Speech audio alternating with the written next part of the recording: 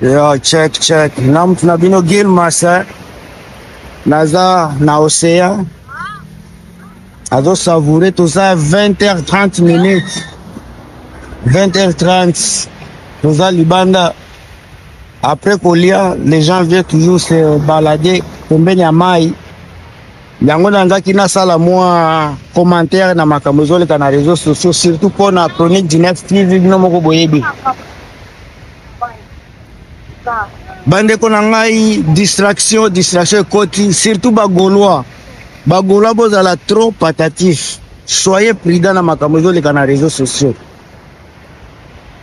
fere gola aza combati terriblement na okoloba frere gola aza terriblement combati bino bagolois bozo comprendre te yango biso bachroniqueur tomonaka makambo na mosika tozoya kopesela bino toujours ba avertissement parce que ce n'est pas normal soki bozongi nsima baserie fere gola autaki prison après kolongwa prison Ferre Gola efalaki akende kobeta concert na Palais du Peuple mpo na ko communier na public na ye après prison.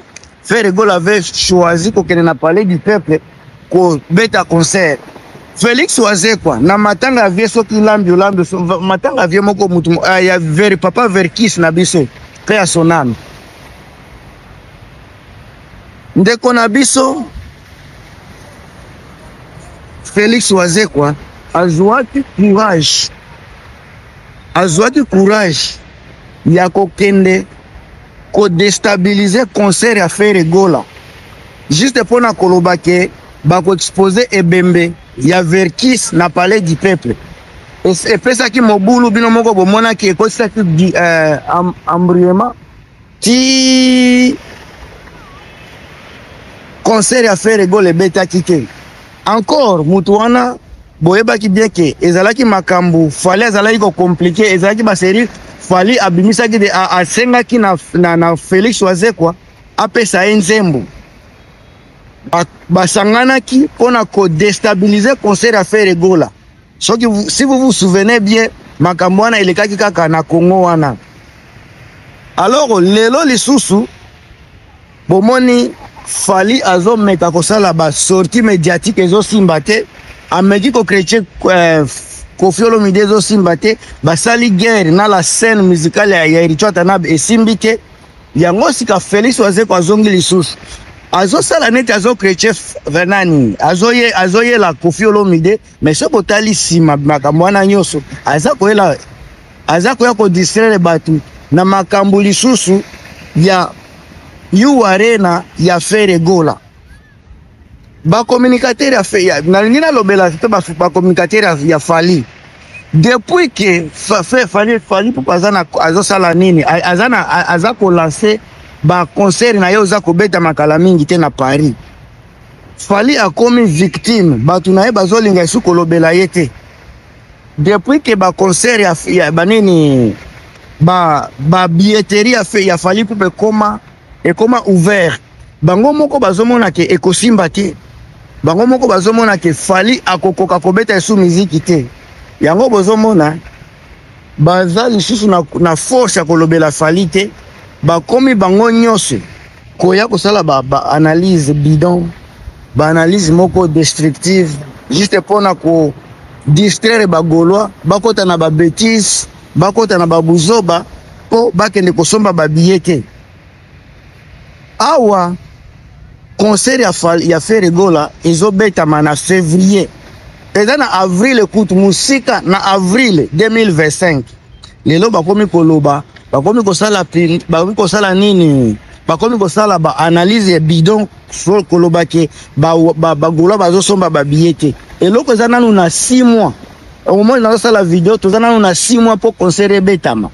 ya fali heure fali azalaki asalaki yu arena na ye babiye na ye etekamaki te heure bafungolaki billeteri bato nyonso balobaki 75 pourcent esombamaki 75 pourcent mai ntina suka bato bakotaki na kati ya sale wana bazalaki 75 75 pourcent ya sale nde bato bakotaki mai fere gola na minute oyo soki bokei na ticket master Ferre Gola asi atekaki ba billets. Ticket masa ba ticket eza te. Bokende ba place ebele ba ticket eza lisusu te ba ticket ekomi ya ko ya koluka. Ba ticket ekomi ya kobondela pona kozwa. Mais yango nde bazo ya kosalela emission ya ko critiquer ba Golois. Pona nga eh, eh, eh, eloko moko na koloba pona ba Golois, bosepela na ndenge motivation ya kosomba ba billets ekomi kobima na mino na munoko ya ba communicateurs ya Ferre ya Fally Ipupa. Communication ya Fally Ipupa bango bakomi kosalela Ferre Gola eh, promotion sans le savoir. Communication oyo Ferre Gola akomi kozwa na, ma, na nini na ndenge ya ba communicateur ya, ya, ya Fally eza ya GT. Eza GT. Alors ba Gaulois nayebi ke nanu eza na ba Gaulois nanu basombi ba billets te.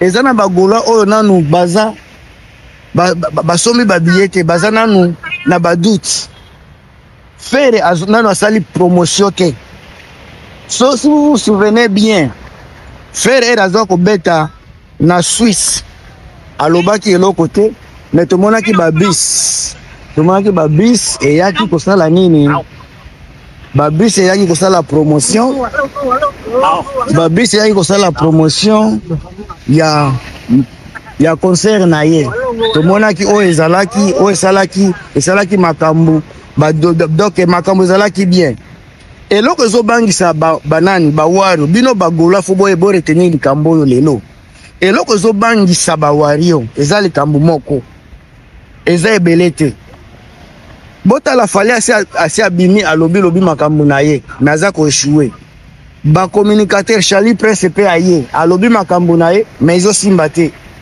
eloko ezobangisa bango eza eloko moko silence ya ferre gola silence ya ferre gola ezobangisa ba warrior parce que botuna bo nanu bino moko mokolo fere alekaki na televizio mpo aloba ah, ezalaki streaming streaming moto esalemaki bato mpo na koyoka fere gola bato bafutaki bambongo mpo na koyoka fere gola donc fere akomi commerciale na communication na ye na sortie médiatique na ye ekomi commercialise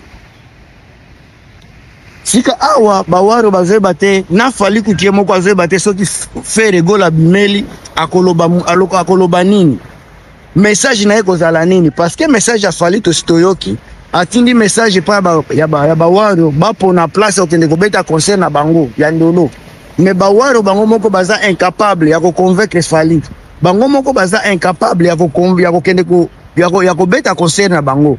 Bango moko ba, baza ba décevoir Fally Ipupa. Ba Waro bango moko ba décevoir Fally Ipupa. Alors ba Gola bozala attentif. Boko malokola ba Wario te. Bino bo décevoir Ferre te. Eloko na kosenga na bino avant na kata émission. Botala esika naza.